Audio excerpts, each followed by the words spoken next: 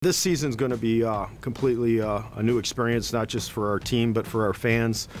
You know, and the fact that we uh, we moved to Hockey East and we only play 20 conference games, uh, which is going to allow us to play uh, quite a few non-conference games uh, to get us up to our 34-game schedule. And we're also fortunate that we're going to, you know, play a number of home games this year that gives us a more, a little bit more of an imbalanced schedule as far as home and away, but it's going to give us uh, a chance to bring in teams maybe that we haven't played a lot in the past and some traditional CCHA, uh, former CCHA rivals, as well as uh, you know the tough non or the tough conference schedule in Hockey East. People be fooled by the fact that you know to expect a big difference in style of play. I think that um, they, they have a number of highly skilled and talented teams. Uh, speed is a you know a factor in their conference and I think the depth of their conference is going to be a little bit uh, more of a factor than what we've experienced in the past few years. Uh, even though the CCHA had been really strong over the last couple years as far as uh, top to bottom, uh, I think that Hockey East could be even more challenging for us. The Shillelagh tournament, how exciting is it going to be to have that in South Bend?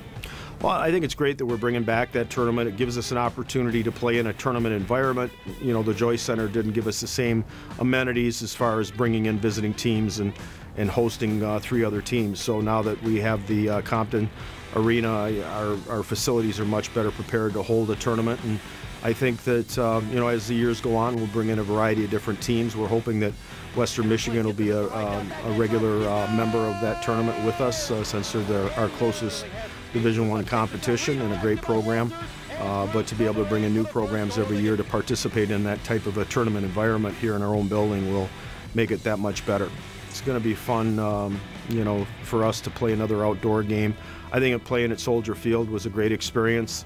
You know, as long as we're playing at great uh, venues, uh, obviously Soldier Field was one, and Fenway Park is probably one of the you know, the great old buildings of, uh, of professional baseball. And you know, for our new home league being in Boston, I think it makes it that much more exciting for us to to get acclimated and uh, you know to to recognize that you know, Boston especially, but the East Coast, there's a lot of Notre Dame alums, and we can uh, start bringing out new fans to uh, Notre Dame hockey.